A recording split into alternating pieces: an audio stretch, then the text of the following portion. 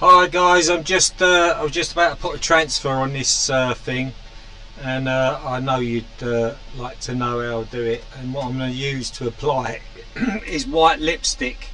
I do use um, chapstick but I've actually run out so uh, you know last about a year but uh, slight advantage, slight disadvantage and advantage at the same time with the white lipstick is that it's white so you get a bit of a better contrast because the transfer on this kind of thing is never going to be that great but doesn't after a while you get used to a bad transfer and you kind of uh, you, don't stress so much if some of it's come off or if you've touched it. So right white lipstick I don't know there's no brand on here or anything just uh, whatever you can get. So the advantage of this over the Dammar and uh, white nail varnish is it doesn't dry. So if you use um, varnish or white nail varnish is the way I, I do it if I ever do it that way.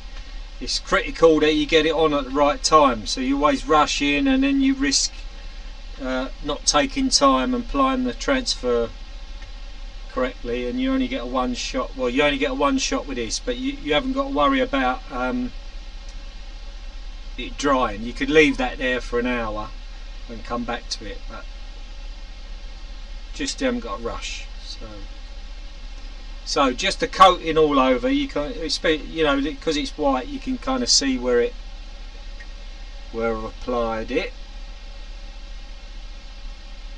Right, so that's coated over. And I suppose not not too thick. If it's too thick, it risks squeezing out. If it's too thin, it doesn't come off. So, uh, right, it's a laser printer transfer on some silicone parchment paper. So you put it through the laser printer, and uh, it won't it won't stick. If I put my finger across that, just wipe that straight off.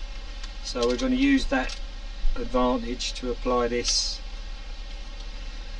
to here which are, this may not go on right because I can't really your the camera is where I would be looking so I can't get my head in there and I can't get my face close enough with the glasses but so uh, right let me I'll just stick it on and whether it's straight or not I'll, I'll have to do it again but, um,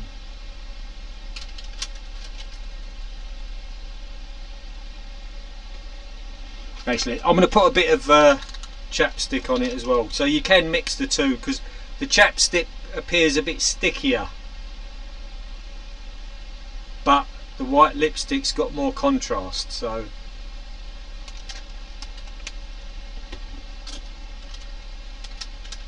Right here goes. This is gonna I can't oh this is I can't see it very well at this angle. Right I'll just go for it if this is straight, it will be a miracle.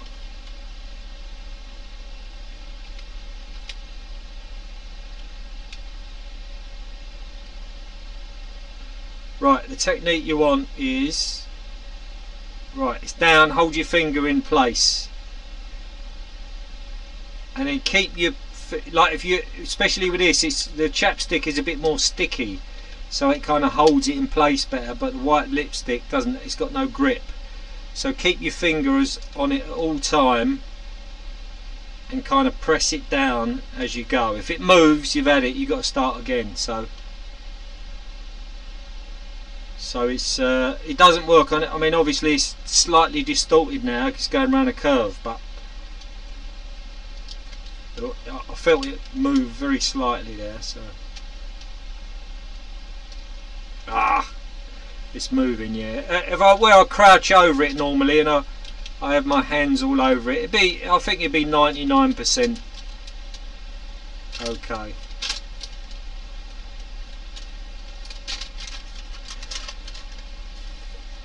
Right, um, yeah, that's usable. Yeah, just got this is almost not there, and you've still got it. You don't really get it. I don't know if it would go again. Would it go again? No, so you, you only get one go of it. But, um, you know, that's good enough. I, I, don't do this under the scope, I just do it with reading glasses. And uh, let, let, let, me show you, I'll do it. Oh no, I can't do a bit because I haven't checked if it's, uh, no, it's crooked. Right. So, uh, but what you got to do is you got to be careful. So the advantage of the nail varnish is you, you'll be doing it. I do it all the time. You touch it, so you see that. Right, see this bit here. It's gone. So you can be engraving away, and you rest your hand down, and and it, it, it makes it harder to engrave like that. But um, it's that you you you haven't got to clean any varnish off, and you can get going. You haven't got to do that rushing part, and especially if you've um, got something shiny, you don't kind of sticking something on, and you've got to use a solvent. It slows you down a lot. Right, I hope that helps, guys and girls. Cheers, everybody. Bye.